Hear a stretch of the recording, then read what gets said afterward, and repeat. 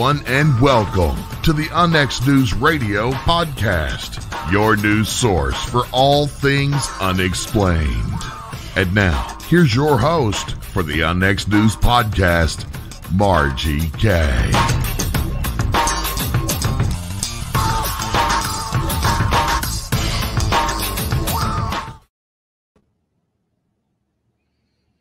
Good evening and welcome to UnX News, where we talk about all things unexplained.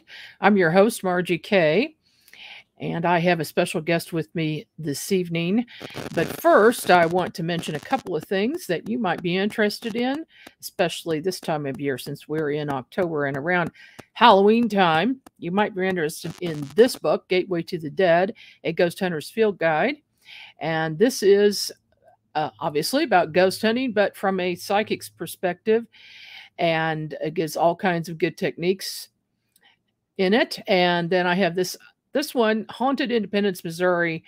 Boy, is this place haunted where I live. There is a lot going on here commercial buildings, houses, cemeteries, you name it. There's a lot happening, and it's in that book. Then my latest one winged aliens. And this is a theory that winged cryptid creatures are aliens and or interdimensional beings. And that pretty much sums up the book, but there's a lot in it, and there are a lot of sightings. I started receiving sighting reports of winged creatures, eh, and a lot of them were in conjunction with UFOs. This started in 2012, and so that's when I started on my quest to get answers to that subject and what these winged creatures were. And that's why I am particularly interested in the subject this evening that we're going to be talking about with Mike Clelland. Mike is considered an expert in the skills of ultralight backpacking and is the author and illustrator of a series of instructional books on advanced outdoor techniques. After 25 years living in the Rockies, he now lives in the Adirondacks. Mike's 2015 book, The Messengers, was met with high praise. In it, he explores the mysterious connection between owls, synchronicities, and UFO abduction. It was his firsthand experiences with these elusive events that have been the foundation for his research. This book is also a personal memoir and a journey of self discovery. Welcome to the program, Mike.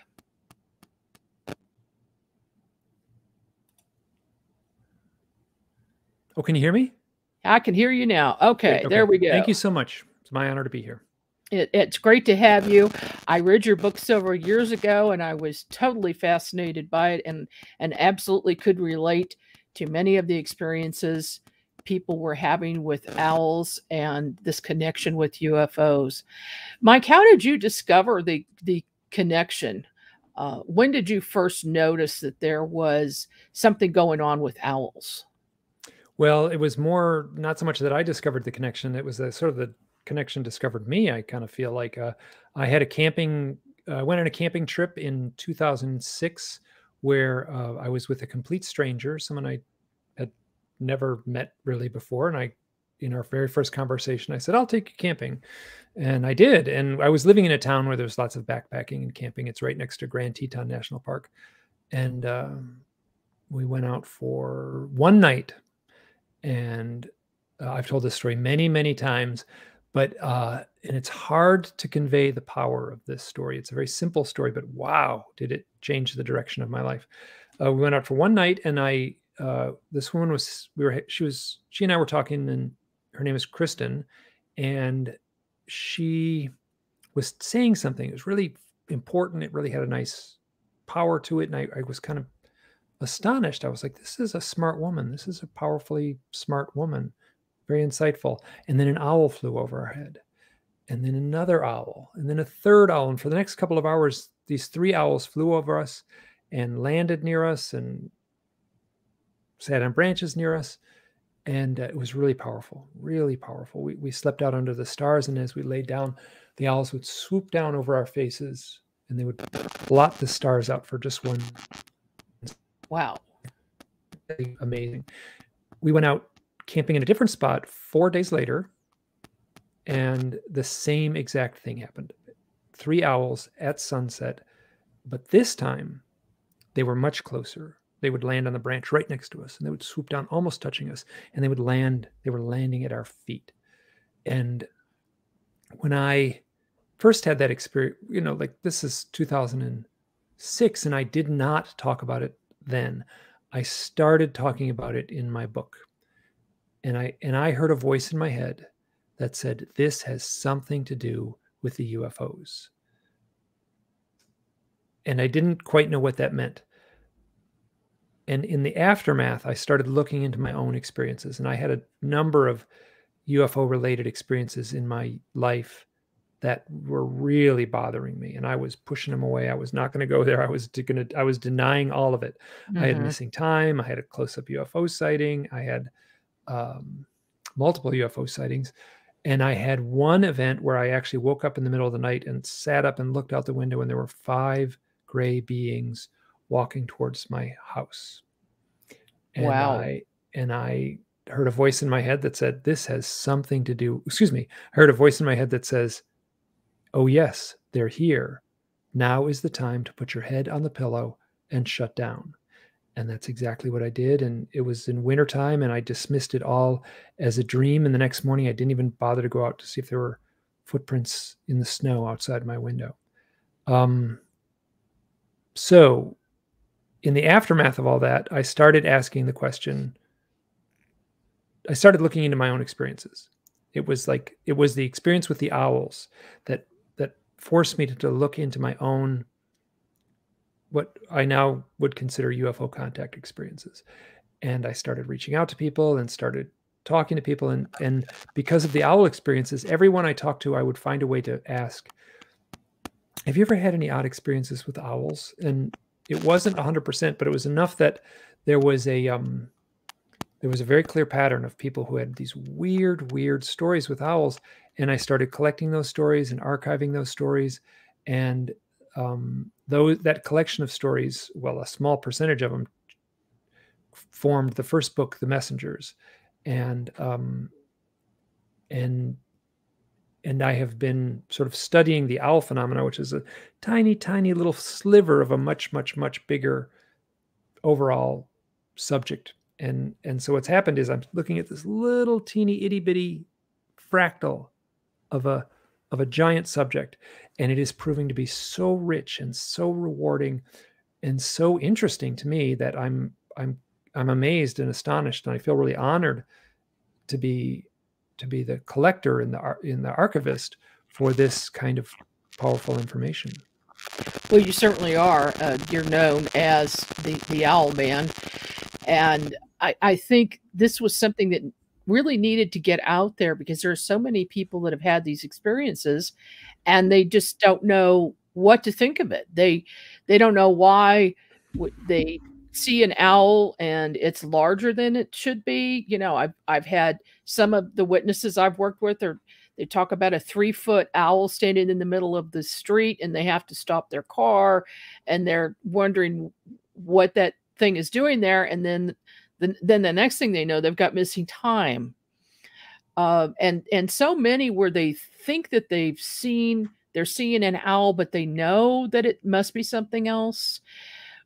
Is this uh, do you have any idea at this point are these uh, screen memories or are they actual ets that are that are cloaking themselves as something else? What do you think that is well there's in my opinion there's two things going on. So one is exactly the screen memory that you just brought up that that four foot tall owl on the road or the three and a half foot tall owl on the road. They've got to stop their car. I, wow i've heard that one a lot. You know wow that one shows up a lot. And then um, you know it also shows up you know four foot tall four foot tall owls in um, their driveway or looking out their window or in their yard or sometimes at the foot of their bed. They'll have a four foot tall owl. I've heard that one more than once so what we're dealing with in that case is the screen memory. So there's some sort of psychic projection being being implanted in the mind of the observer where the where the um what i would assume is a gray alien is somehow using biology or psychic means to cloud the perception of the viewer. And mm-hmm. and you'll often have missing time you'll often have a ufo report you'll often have a very unsettling set of emotions surrounding the event. So that's only that's in the book I, I talk about that and i try to move on from that because i think that's that's very much part of the overall story. But there's there's something more. There's uh, there's real owls showing up in the lives of people who have had contact experiences.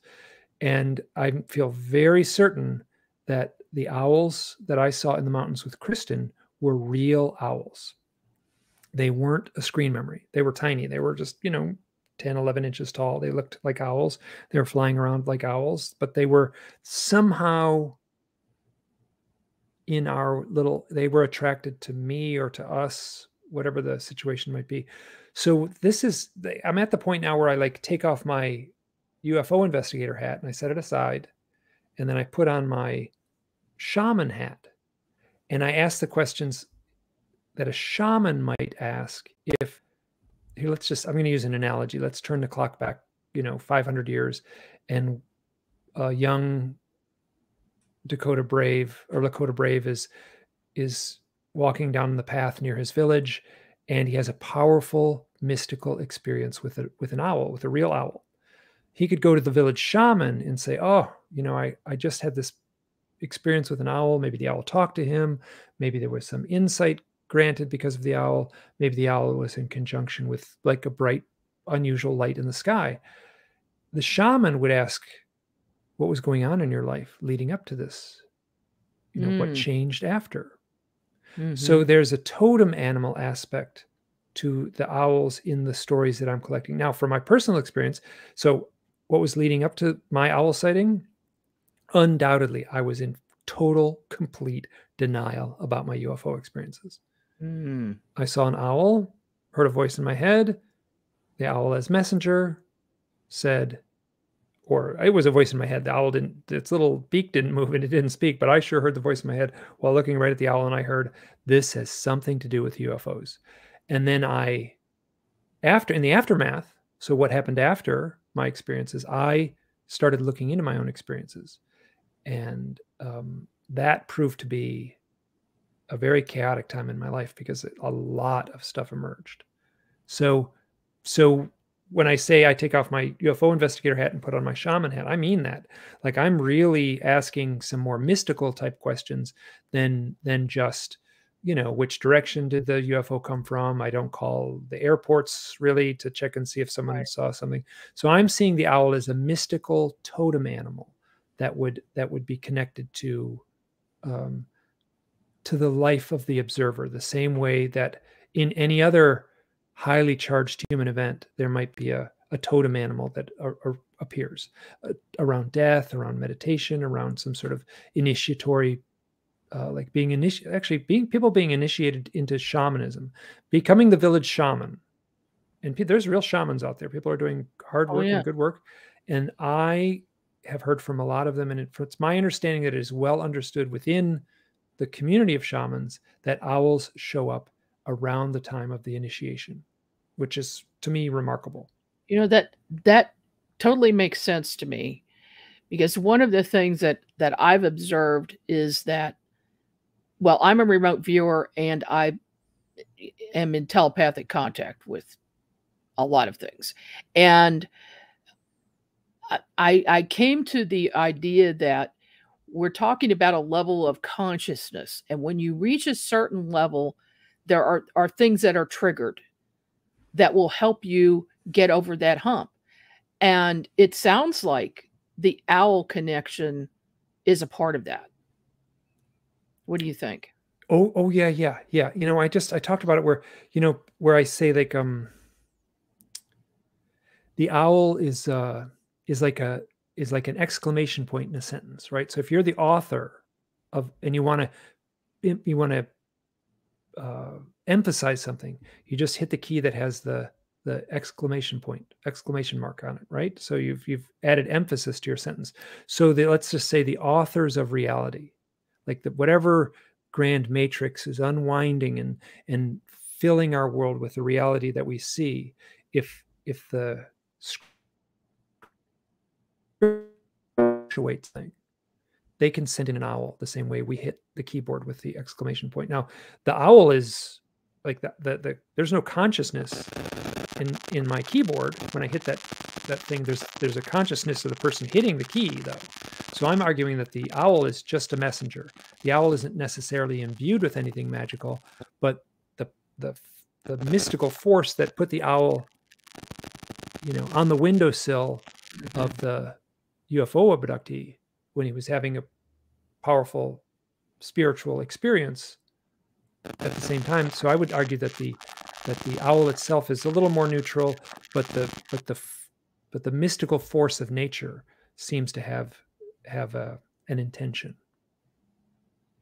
Does that make sense? It sure does. It absolutely does. And I people see other other other winged creatures as well, like hawks. For instance, I had I was working on the book and I was concentrating on uh, Mothman and hawks and owls and you know other wing wing creatures and some things you can't even describe. And one evening I left my office. It was at dusk. An owl came, or I mean, a hawk came towards my vehicle from uh, across the street. So it, it flew quite quite a distance, maybe 75 feet or more. And as I got in my car, it swooped down over the hood and down over my windshield. And I can't believe it didn't hit it and and away. But I also heard a mechanical sound, like a humming, like a motor. Have you ever had anybody that you know that you've worked with with owls have something like that happen? Um, wow, you know, you're you're describing something that's not uncommon within the within the lore. So I don't think I have exactly that, but I certainly have things of that tenor and that nature in my research that have that that flavor or that mood that you're describing. So, but I can't. I don't think I have a, one where the owl will actually make a different noise. I've certainly had weird things where people will say, like, I saw a bright lemon colored owl, like lemon yellow, like a normal owl, but it was like totally electric lemon colored, like like bright wow. yellow. So so there's yes so there are these weird things that show up in the literature. And i also get a lot of other bird stories and i and i talk about some of the bird stories. I'm kind of for the books i'm sticking straight with the owls but i certainly have collected a lot of stories with other birds. So i um, especially around death owl birds and around death seem to seem to show up so really? yeah. Oh lots. It's the owls in particular. There's a uh, a fellow named dr peter fenwick and he's a um, I think he was like a he was a he is a brain surgeon in uh, England, and he's written him and his wife have written some books, and he's getting older now, and so he's I think he's got permission just by the fact that no one's going to give him a hard time anymore. That he's been including a lot of very mystical stories in his in what would be he studied a lot of death you know what happens to people at the time of their death and he began collecting these bird stories these owl stories which are which i have many, many dozens in my files that all play out exactly the same word. Owl will usually will show up after a death, usually the death of a parent, a loved one. Hmm. And those are I can tell you a few if you want, but those those well, are, yeah, share at least one of them with us.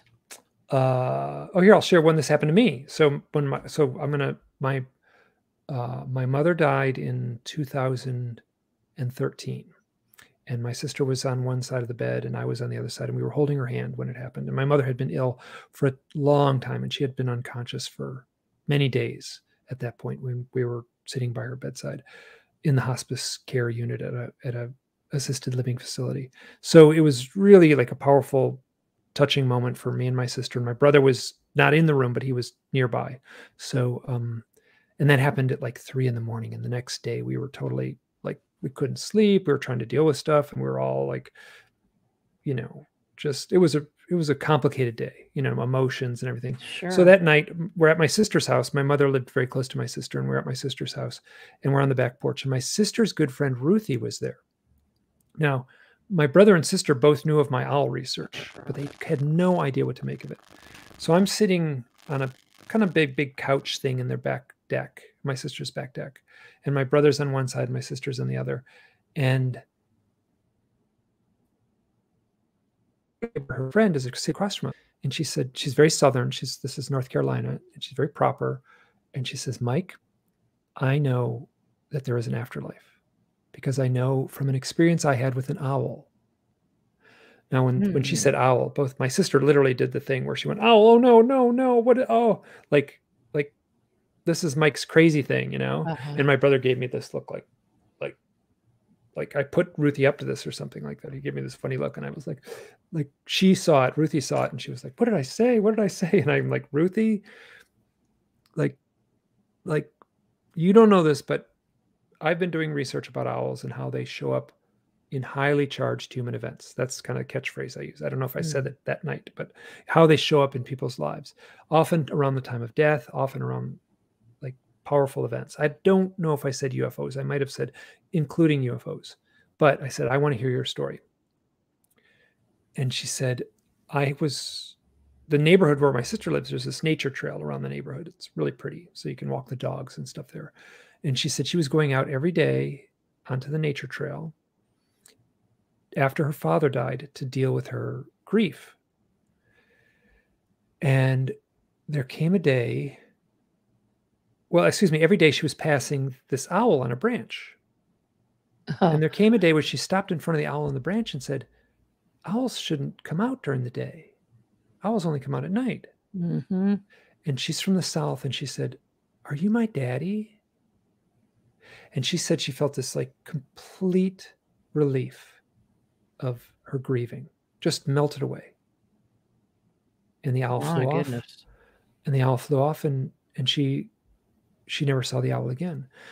I have so that one includes me. Like I was right there when she told that story at a, at like a very powerful moment when I well, I would say when I needed to hear it for my own solace and I think where my brother and sister needed to hear it so that they wouldn't so they so they would realize that my research was valid because I think they just thought I was had lost my mind. So um so yeah that so that is a very powerful personal story for me and I have had I have that story in one form or another I don't know many many dozens of times. And I'm and if I was specifically asking for that story I'm sure there's lots lots more. Oh yeah, yeah. You, I, I'll bet you get all kinds of email after you do a, a show like this, uh, where people uh, that haven't heard Yep. about this before will it'll trigger and say, "Oh my gosh, this thing happened." There was another thing that happened just a few years ago with our friend uh, Jean Walker. She and I are Mhm. investigators, and we we worked on a case. Uh, in fact, it's an ongoing case in Sugar Creek, Missouri. And at one point uh, during one of the investigations, I was I was not in attendance at that one, but there were several investigators. They all noticed this big owl in a tree. And they they just very slowly approached it. It sat there and sat there stayed there. It was during the day or late afternoon. And they were just commenting on how big it was that it was bigger than a normal owl. Well jean managed to get a series of pictures of it starting from far away and then as she gradually approached she said she got about 10 feet away and then it, it flew off.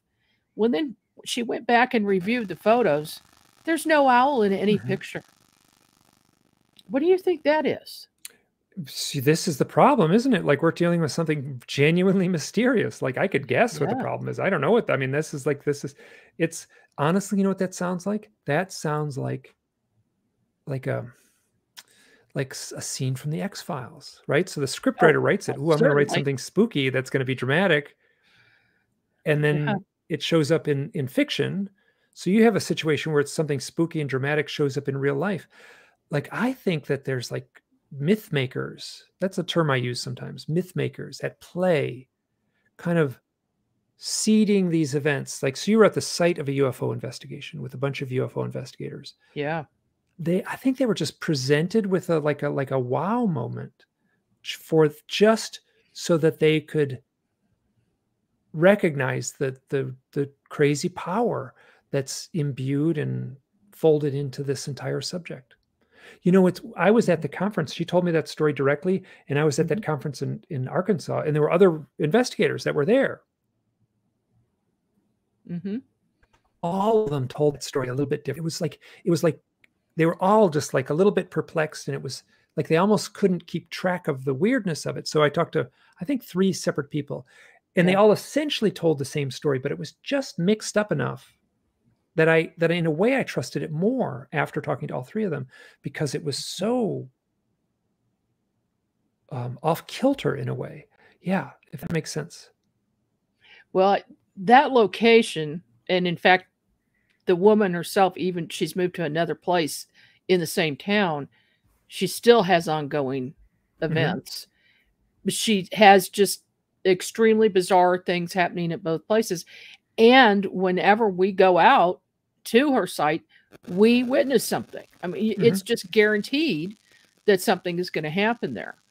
Uh, but you know, of course, the owl, the disappearing owl, is is a big part of that. I had another case, and this is in Oklahoma.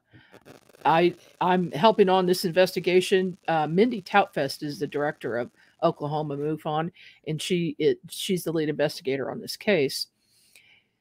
She at one point went out with several investigators, and they left the site because nothing was happening. They'd been out there for a long, long time, nothing, and they're just getting ready to pack up and go home. So they head down a hill when this gigantic crane, a large crane, came over their heads and swooped down, and they just thought it was a regular bird, and it disappeared in thin air. It just vanished. Mm-hmm. So here is another case where they think they're really looking at an actual uh, real crane and then it disappears and they still are dumbfounded by this experience uh, they, what do you think the messages i mean are they wanting us to pay more attention to what we're looking at what do you think the motive is wow uh, um so so like i'm not off the top of my head like i don't know the totem meaning of a crane like a like a sandhill crane um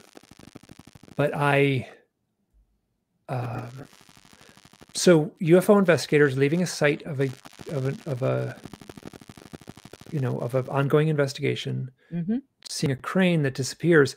That's remarkably similar to UFO investigators at the site of a UFO investigation, where they see an owl, but it disappears when it goes onto the camera. If that makes sense. I mean, it's they're very similar in their tone, and I honestly, like, I'm at the point now where I think that the that the you know like the grand chess player you know like i feel like like if real if like all of our experiences are on this flat chessboard and we're like you know these two people get put together and there's a couple of investigators and they go to this site and you move the, the pieces on the board around like there's this grand chess player that's just like i'm gonna mess with this i'm gonna like i'm gonna poke i'm gonna poke yeah. this thing and i'm gonna i'm gonna create some sort of static or i'm gonna create some sort of sense of wonder or I'm going to create some sense of fear or some sense of awe. I think this is being done on purpose. I don't know the reason why, but that's certainly my sense after having just like heard and talked to so many people who have had exactly the kinds of experiences that you just described. Yeah.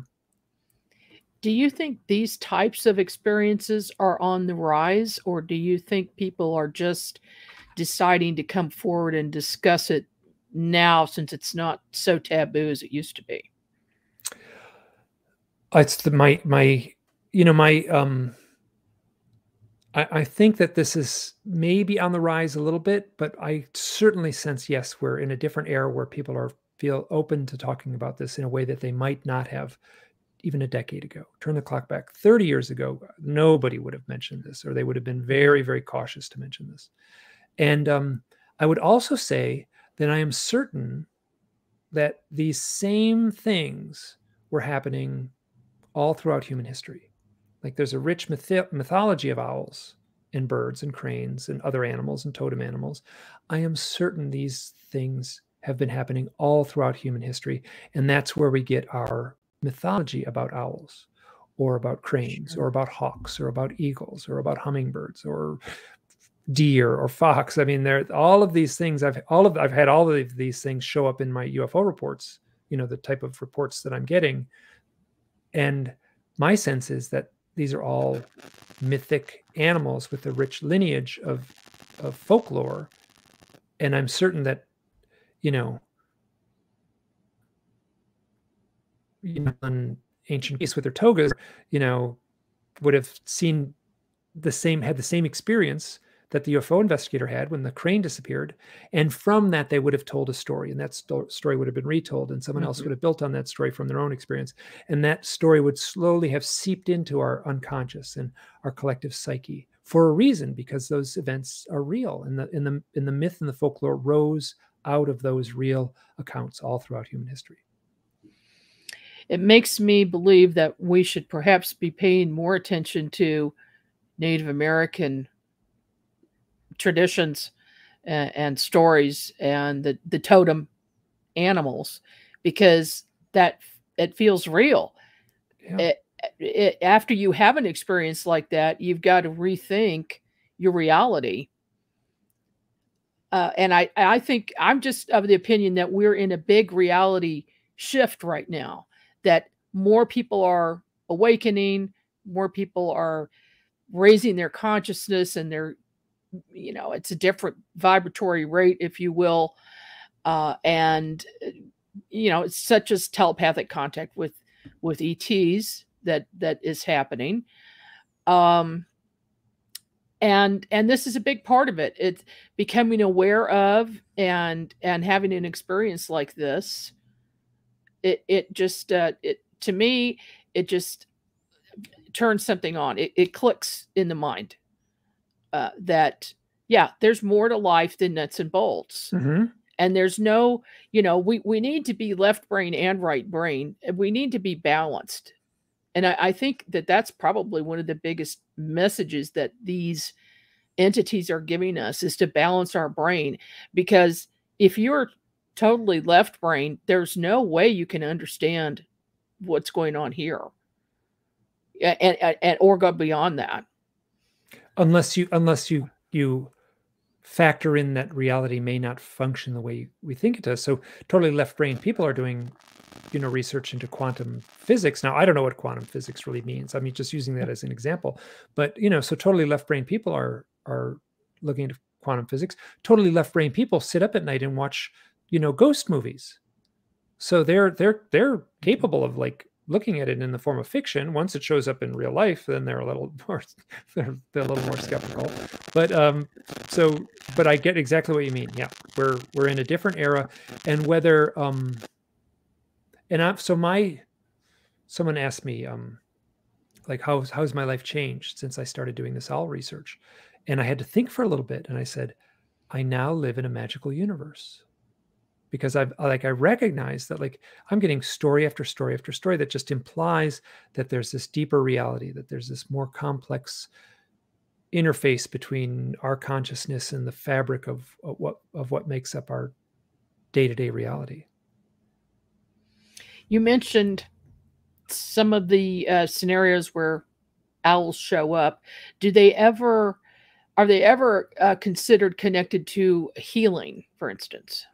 Wow, that's it. So yes, the answer is yes, yes, yes, with a great big giant electric. Yeah, that's like the that's where my research has been kind of funneled. So there's a few things. This is so when I talk to people, I talk to people all the time. They say, "Oh, I had this owl experience," and they send me an email and they give me their phone number and they said, "Let's talk." And it's like I get a lot of letters, and it's hard to talk to everyone. But sometimes I talk to folks, and when I do, I have a clipboard and I write down stuff, and I just write down simple stuff like their phone number and the date and like how old they are and a little bit of their story and it's not like I'm keeping complex notes, but on the edge of that paper, I write Reiki. I write it on every piece of paper. Every time I, I write it before, like right when I make the phone mm. call, I write mm. Reiki in the corner and I just wait. And so these are people who have had owl experiences in combination with UFO experience. So those two things together. Okay. and I just wait. And then I kind of like, oh, so what are you doing? What do you do for work? And I'm like, oh, I'm a Reiki master. Mm. like, what's been mm. going on in your life lately? And it's like, oh, I just got my level three Reiki uh, uh, certificate. And and then if they're not doing Reiki, then I get to the end of the call and I'm like, listen, I got to ask, do you do any like hands-on healing? And they said, well, not really. Except when my when my wife was going through chemotherapy, I'd be able to hover my hands over her body and alleviate her pain. Mm-hmm. So so how do like how do I like how do I yeah. research this? Like like it's it's not hundred percent, but wow, of the people who contact me, I will tell you, hey, like, percent of the people who contact me with an owl and story are Reiki healers. like the Okay. general population. It's not 70%. No. Like, you know, like that's a that is and I I'm doing that anecdotally off the top of my head. It's pretty high. I don't know exactly what it would be. But Yeah. like what a weird little statistical anomaly that is. That's well, you can put me on the list because okay, I, was do- I wasn't even do bothering asking. I could yeah, just sense I once you said you were doing work. remote healing, I was like, well, you're Yeah. probably there's a whole bunch of things in the checklist that I can assume just given that. Yeah. So Yeah. Yeah. Wow. Uh, this is synchronistic to me. Uh, you know, I, I feel, I feel a connection definitely when somebody sees, let's say, I'm going to show this. If they see an owl flying directly at them, does that have a particular meaning?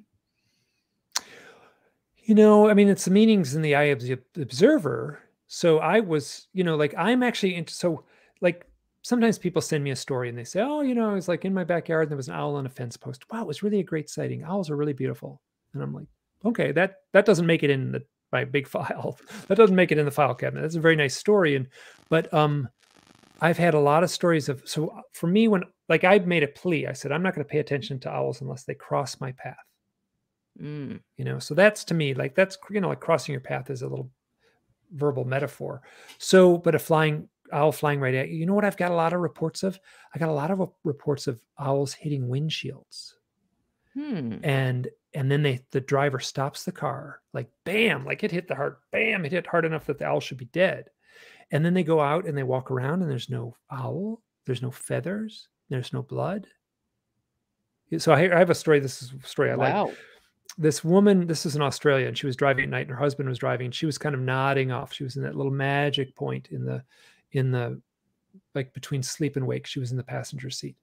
And she has all kinds of weird experiences in her life like psychic experiences and and um but she was doing um ufo watches but she would, had never seen a ufo but she had done a lot of paranormal work and she felt she was pretty savvy with her paranormal work.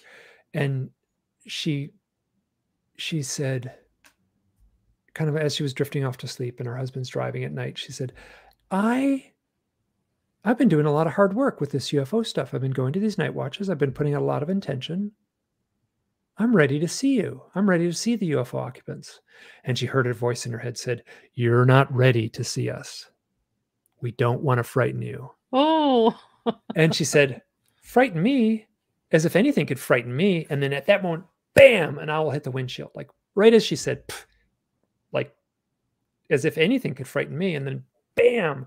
And both her and her husband, ah, they freak out and they're totally, their hearts are pounding and their adrenaline's running. And they get out of the car in this lonely road and they walk around and they, there's no owl, there's no blood, there's no feathers. So like back engineer that one. What took place? wow. I have I have that one in in one form or another a lot. The owl that was the windshield. that sounds like a big pay attention right now moment. the whole every owl Yeah. sighting is a big pay attention moment in my opinion, or like every owl that's interwoven into, you know, that has a highly charged connection to it. Let's say. My husband and I have been talking about birds and some of the birds that I had been seeing, um, hawks in particular, and owls. And later that day, he went out to go fishing at Lake Jacomo. He came back and he said he was driving on the road, you know, because it's like 20 miles an hour there. And there on the side of the road, in the road, was a dead bird. And he went over to it and it there was no blood, there were no feathers anywhere, no cuts on the animal, but it was it was dead. He picked it up and he brought it back because we had just been talking about this the strange bird sightings and what they meant. And I had been talking to a friend of mine who's a Native American, and she was telling me about what some of these things meant. Like if you if you see a hawk and it's looking in a certain direction and it keeps appearing and doing that, that you're supposed to look in that direction and pay attention to it. So anyway, um, that was just one of the things. He brought it back and he he said he said I don't know what this is and I looked at the face. I said, "Oh my gosh, that's a great horned owl." It was it was a huge owl, but it was in perfect condition. Do you have any stories like that? Is anybody telling you that they're that they're finding something like this? I had one woman say she found 10 owls in a row on the side of the road. On the and she was on the way oh. to oh, there's an annual event, I think in Arizona, like a like a Native American something called Earth Convention or something. I can't remember what it was called, but she was on her way to a uh, like a, a convention where Native Americans were going to be speaking about spirituality.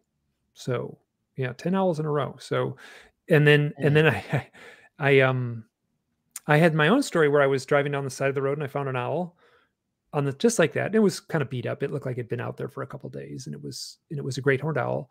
And I, I, I carried it off the road a little bit and I said, I'm going to take a feather. And I asked its permission. Can I take a feather? And I felt nothing at all. Nothing at all. And I pulled out one wing feather. It took a lot of work to get it out. And I kind of walked away and I took about three steps away from this bird. And I felt this like, oh, like, holy crap. Like, what did I do? And I was like, oh, and I had this, it was strong. It was like, bam. I was like, oh my God, I shouldn't have done that. And I turned wow. around and I carried the owl off. And this is like, it was like a cold day in Wyoming. And it was like it wasn't winter yet, but uh, Wyoming can be windy and cold even when it's so it was like an autumn. And I so I went back and I dug the tiniest little hole and I put it under a sagebrush. There really wasn't much I could do. And I buried it and left the feather there. But that that feeling was palpable. Like, don't you dare take that feather was basically the message I got. So so so wow. yeah, I've got a lot of stories about people finding well, dead owls on the side of the road is actually not too uncommon in real life because owls do get hit by cars quite often. So yeah, well, that was a, that was a first for him. And and the next day, the same thing happened. Only it was a hawk, and it was in the exact same place. How interesting. Okay, so so so the hawk and the owl. So the you know the the owl is the hawk of the night, and the hawk is the owl of the day. They mirror each other. So um, mm. the the hawk is a is like an outward totem, right? So hawk and eagles are essentially the same. So Zeus has a has a totem. I'm putting he has a totem eagle that he has on his wrist, and and he's he's masculine. He's like a conqueror. He stands on a mountaintop. He's like out in the bright sunshine, and he's like, you know. So it's all these outward physical things. Now Athena, the goddess of wisdom, has a tiny little owl on her wrist, and she's this she's a feminine archetype. She's connected with the night. She's connected with like spirituality and magic. So you have these two opposing totems, right? So you have one that's like masculine and outward and and daylight, and you have this other one that's smaller and much more subtle and a sign of night and the mysteries of the night. So that's that's great. So I, I, so I got a lot of stories of owls on the side of the road. I'll tell you a quick one. This is one that came in. A guy um, had to go to work every morning. He, he waxed the floor at a grocery store, right? So he got up before the grocery store opened. He said, It's a great job. All alone. It's an easy job. I wax the floor. I can listen to music. And then I'm done before the grocery store is open. So I, my day is done and I go back home. But every day he would go and stop his car in the nighttime, right? So it's before the sun comes up. He's waxing the floor. And it, he stopped his car at this little corner and there was a little field there. And he'd stand at the field and he would go outside and basically say, I know there is more to this reality I need a sign. He'd pray, essentially. I know there's more to this reality. Please give me a sign. And then there was a day when he was driving down the road and it was freezing cold out, like 20 below zero. This is in like New England somewhere. So it's like 20, 30 below zero. And he's driving and he's like, oh, it's too cold. I'm not getting out today. And as soon as he has that thought, there's this little thing. He thinks it's a paper bag on the road, little crumpled up thing in the road. And he's driving along. And then the little thing stands up and looks at him as he's driving. He gets this close up these, you know, he like sees this, it's an owl with a big owl eyes and it, bam, he hits it. Ooh, and kills it. He certainly kills it. Stops his car, gets out of the car, same thing. There's no dead owl. He was standing at the exact spot where he prayed every morning. Uh-huh. And like, he was like, Oh, you're not going to pray? Too cold to pray? Well, we're going to get you out of the car. He got his message. He got out of the car. Yeah. He got mm-hmm. out of the mm-hmm. car and prayed at his spot. Yeah. So, like, wow this is so this is the flavor of the stories I'm collecting. Like that didn't have any UFO in it. The power of of something mystical going on just behind the curtain of reality. Now you had you wrote your first book in 2015, The Messengers. Mhm. And then we have stories from the messengers. Tell us a little bit about that. So when I wrote the messengers, what happened was like, so you must know what I'm talking about. So you talk to someone and like, oh, well, let's hear about your UFO experiences, and like six hours later, you're like still in the thick of it. Like it's like nobody has a simple story about their UFO experience, right? It's like just goes on and on. So I felt terrible. Like someone would talk to me for six hours or more, and then I would have to sum it up in one sentence. You know, Joe saw an owl. You know, right around the same time he saw a UFO. That's all Joe gets. Where Joe actually has this like monstrously engrossing story. So Mhm. I felt so bad that I couldn't do I couldn't honor the people and their stories that I wrote the second book. And that has a collection. It's 19 stories, 19 chapters that read like a short story each. And and um and each one is explores those complicated stories. And you must know what I mean, where you where someone tells you a story and it's like, well, wait a minute, you pull on that thread and it, it's like connected to something over here, and it's connected over here, and it's like it, these stories are very complicated. So that was a tough one to write because I had to tell complicated stories in a linear way that the reader could understand. And that's the book where I where all the healing stuff came out. I was like, wow, every, it wasn't everyone in the book, but I'll tell you, nearly every one of those people, and some stories have three or four people in them. Nearly everyone is doing some sort of healing work. Can you pick one of them out and give us a short synopsis of it? If there is such a thing. I'll give you one little short story out of it. Um, do you know a woman named Denise Linn? She's been writing um, sort of self-help kind of books. She's a she's a busy author. She's in kind of doing new thought stuff. She's out of California. She talks about a UFO sighting. She's seen owls. She's seen hawks. She writes really good books, and it's really great talking to her because she's um she has a she's done a whole book on animal totems and stuff like that. So really, Mm. you know, and she's out there. She's writing books, and she's got a lot of books, and she gets interviewed on like a coast to coast and things like that. So she had Native American blood and she had Native American friends, and she was kind of said, like, someone told her, like, now is the time you need to go out and get your animal name, your spirit name. And she went into the woods and um, said, okay, I'm going to go. She lived in Northern California and walked into the woods and she said, I'm going to, I'm here specifically to get my, my totem name, my spirit name. And she sat down in the forest and closed her eyes and she said everything got eerily quiet. This is that's UFO stuff. Everything got eerily quiet, you know, Mhm. it's weird silence. She closed her eyes and she asked formally. And when she opened her eyes, right in front of her, right in front of her on a branch was a great horned owl. And they locked eyes and she said, she said she felt like she got a download, like like a down a, that again is a UFO thing. She got a download from this owl Mhm. and the owl flew off. And she she heard a message in her mind that said, so the owl flew off, and there were three little feathers on the branch where the owl was sitting. And she heard a voice in her said, in her mind that said, Put the feathers in your medicine bag. Mhm. And she said, Well, I have a medicine, I have a nice medicine bag at home. It's in the shelf. It's on my it's in my office on the shelf, my medicine bag. It's not here. And the voice said, You are your own medicine bag. Put the feathers in your medicine bag. And without a second thought, she picked up the three feathers and ate them. Oh my goodness. so, and I I'll tell that. you, and I'll tell you that like that one little point like brought up so much stuff for as far as like as far as like you know what the meaning of communion would be and Christianity and it was so that so her story I thought was really beautiful and funny that she had this powerful thing and she actually ended up eating the owl feathers. And she's very much a healer. She does healing work and and and she's a, I, I'm if she's not a reiki therapist she's doing some sort of reiki type healing. And she so so she's a healer. She takes people on retreats and things like that so Okay, that's I would say one of the most bizarre stories I've ever Oh, heard. bizarre as i got the bizarre ones some I can't. Say, I, don't think I would interpret it that way. If I got that message, I would put them in my pocket. She know, ate them she I was her wouldn't- own medicine bag yeah so Yeah. she ate them That's pretty wild. That's pretty wild. Now, you also have that, that goes back. There's all kinds of, of stuff in ancient Greek. Oh, oh, go on.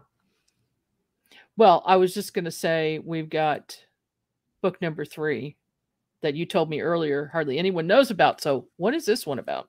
So that one is a memoir of my um of my how I say this like my acceptance of my own experiences. In 2009, I started a blog, and initially I was just going to be a blog of synchronicities because I have a lot of them. Like I was just going to tell stories of synchronicities. And very early on, within the first few weeks, it was like I got flooded, like so many things that it was basically felt like I had it was saying you got to write about your UFO stuff. Like the like the guardian angels were whacking me on the head saying like you got to write about your UFO stuff. So I did. And it was it was um I was writing about stuff in real time and uh and that's in the book. When I worked did the first two books, Richard Dolan published the first two books. And him and I would have long talks, and I would tell him these stories, and he's like, you could hear he would he basically says, you've you got to do you got to do your own memoir someday. You need to do that someday." And I and after I finished the mm-hmm. first two books, I sort of thought, and I said, "Well, I I have my own memoir. It's like my blog posts, like it's all in there. It's all in my blog." And so rather than rather than um rewriting something and say, well, 10, you know, five years ago, this happened and it was a powerful experience. In the, the blog, it's like my, it's like a blog post dated and it says, this happened last night and I'm freaking out. So I have like a real time document of uh-huh. a lot of powerful experiences. And I, so I, I put those key documents, those key blog posts in the book, and it reads like a long narrative. And what's happened is people who read that book who have never had like a UFO experience, they kind of get back to me and say, "Well, you know, I read it, I I didn't get it," you know. And then people who have had direct UFO contact, what call them abductees, let's say, they get back to me and they're like, "Oh my God, that book was so important to me. Thank you for saying everything that I felt." like thank mm-hmm. you for for saying the stuff that i cannot say myself you said it so i I have since like I'm less worried about promoting that one. I figure it's going to hand up it's going to end up in the on the bookshelves of the people who need to read it, hopefully. Well, I think a lot of those people are watching this program, so uh, go check that out. That They're available at uh, Amazon, correct, mm-hmm. and your website as well. And they're all audiobooks too, which I'm very. I read two of them, and then I had a voice actor read the first one, the big fat blue one, which is the longest one. So um, but yeah, I, I, I noticed that that uh, that's excellent. People really love audiobooks right now. That's a big deal. I and I was happy to do them, and yeah. it was fun to do them. Yeah. And then are they also on Kindle? Kindle, print, audiobooks. You can get them uh, at your local bookstore. Just ask, and they can order them, and or you can get them through Amazon or Audible. So. Okay. And what is the web address for your blog? Well, the easiest way to find so the easiest way to find me is to Google UFOs owls, and I'm the first thing that comes up, and then I'm about the next 25 things come up. You don't have to know how to spell my last name to look me up. You can just, but if you you can go to the easiest place to go is um, MikeClelland.com, and that will link you to my blog. That and then if you want to type it all out, you can go to hiddenexperience.blogspot.com, and that's the title of the blog. And, and honestly, I haven't been working so hard on the blog lately but there's if you scroll back there's over 16 years of posts on the blog at this point that's a lot yeah that's absolutely a lot i've been thinking about doing the same thing uh, with mine collecting the stories and uh, and putting them together so i you know i'm i think that's a great idea got we've got a few more minutes here. I wanted to ask you about uh, if anybody sees two owls at once like this. What what do you think that means, or has has anybody actually said that? Oh oh gosh, yeah, two owls, three owls, five owls. Yeah, I got I got lots of owl stories where there's lots where there's more than one owl. Um, you know, honestly, it feels like you know you just hit the exclamation point twice for more emphasis sometimes. So um, I have a story of a woman um, this is in the first book, and her name is Susan Kornacki, and this is connected to us. Oh my! To tell this, this is the problem to tell this story correctly. So she's an experiencer. She's been very upfront with her UFO contact experiences. She she had to leave. But like, oh my god, I, like I feel like this electric charge in me. I'm just freaking out. I feel like I'm like like like this electric charge is running up and down and throughout my body. So she goes home, and her husband's still at the party, and she lies on her hammock in the backyard. The hammock is tied between two trees, right?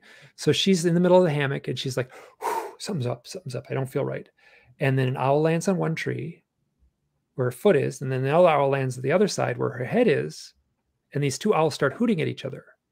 And she feels like these waves of energy going back and forth between her. And I can't like like if you took a little component on a circuit board, like and plugged it in, that would be Susan Kornacki, and then you'd plug in a little owl component on one end and a little owl component on the other end. They'd be zapping somehow and recharging her. And she said, she said, I felt like I was being rebalanced. And I was like, what happened after this? She said, well, I started doing hands-on energy healing work. So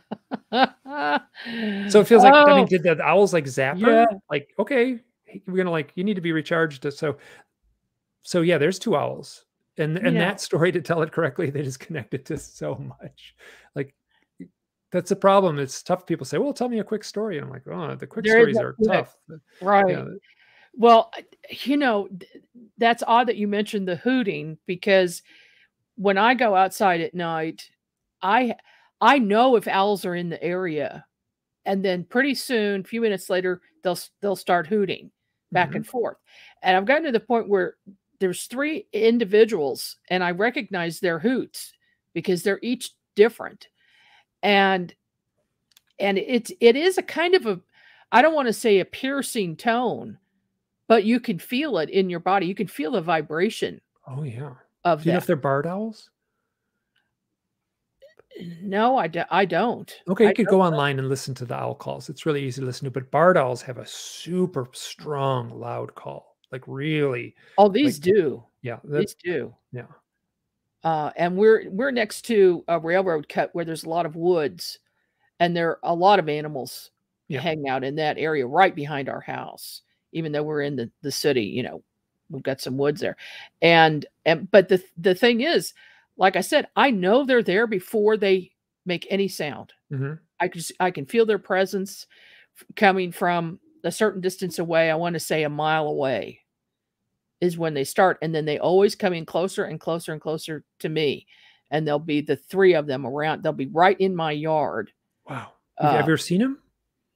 I've on occasion just seen the outline of them in the night, you know, with the moonlight or something, but I've never seen close up. Uh, okay. I, yeah.